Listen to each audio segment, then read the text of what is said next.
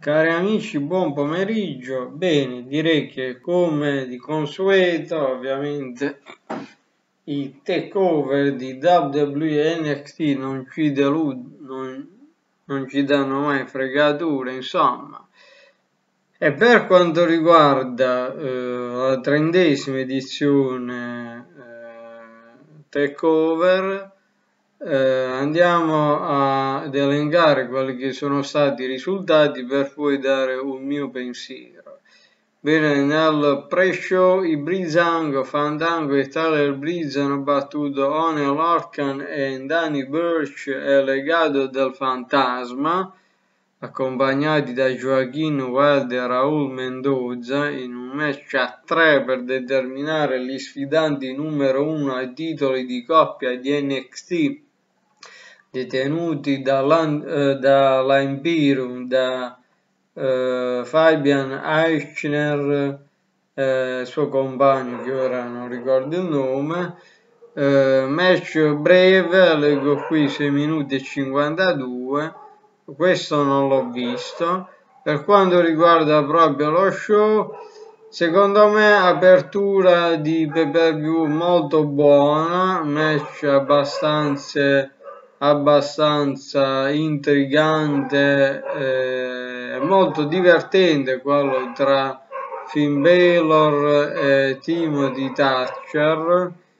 eh, match singolo senza alcuna cintura. Intanto aspettiamo che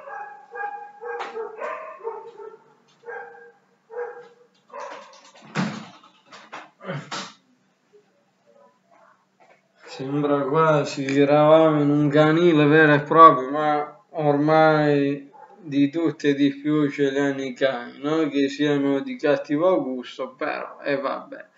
Torniamo a noi, stavo dicendo, Finn Balor ha battuto Dimo di Thatcher in 13 minuti e 32 secondi, un buon open air secondo me, Uh, la seconda sfida che è stata abbastanza corposa soprattutto in termini di uh, minutaggio è stato il match con le scale per il titolo reso vacante da Kate Lee che era doppio campione quindi aveva sia il titolo nordamericano che quello di NXT ad avere la meglio è stato Damian Priest che ha superato Bronson Reed, Cameron Grimes, Johnny Gargano e Velvet in Dream, pensate in 21 minuti e 24 secondi. Comunque questo per me è il match che se la gioca alla grandissima con il main event poi Adam Cole contro Pat McAfee, uno contro uno, molto bello anche questo, in 16 minuti e 12 ha vinto Adam Cole Baby. Yoshirai contro Dakota Kai, accompagnata da Raquel Gonzalez, mantiene il titolo femminile Yoshirai in 17 minuti e 13, ma da quanto è accaduto anche nel post match con... Eh, è arrivata subito dopo ehm, eh, Ria Ripley, eh, ma questo fa capire come comunque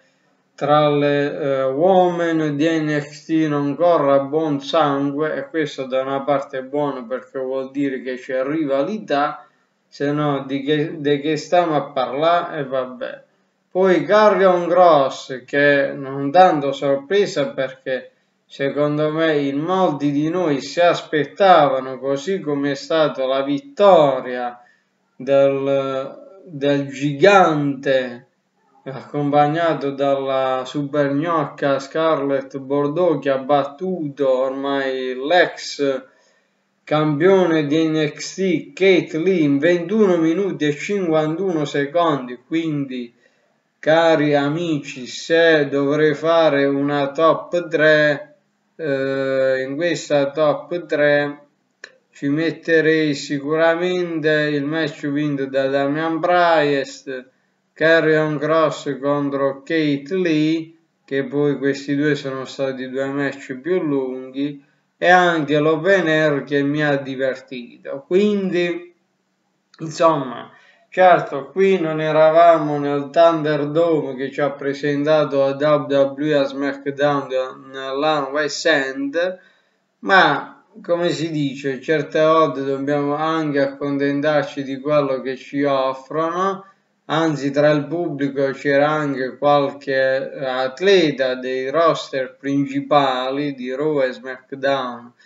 si è aggiunto anche in previsione, se non vado errato, dal main event al commento Drew McIntyre che proprio nella notte tra oggi e domani difenderà il massimo titolo WWE al cospetto di The Viper, The Apex Predator,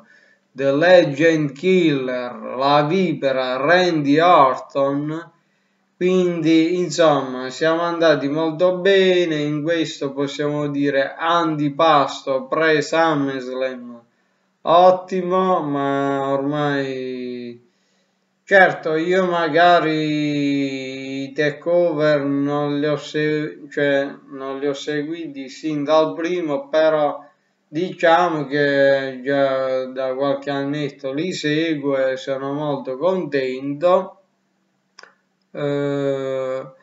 ora bisognerà vedere come si ripartirà per quanto riguarda NXT già da stavo leggendo anche pochi giorni fa visto la concomitanza anche delle varie discipline in America che sono riprese con i playoff delle varie discipline NXT avevo letto che questa settimana potrebbe essere spostato a martedì anziché mercoledì come